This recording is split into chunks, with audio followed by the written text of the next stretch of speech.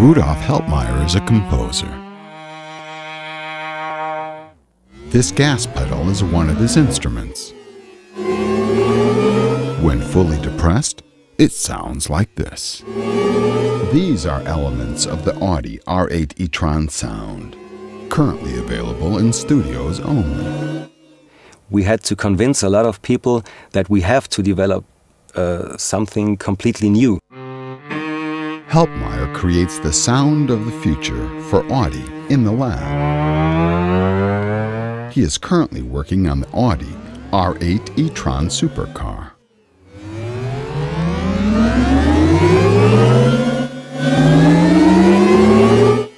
Without sound, the Audi R8 e-tron would sound like this.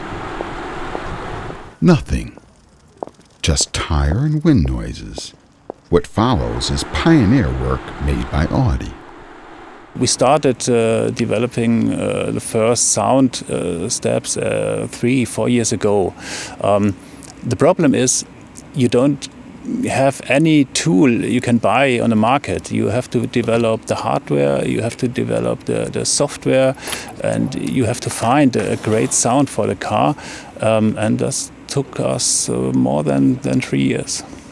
Audi acoustics engineers have meanwhile succeeded in giving the R8 e-tron a sound that clearly identifies it as an electronic vehicle, while at the same time underscoring its sporty character.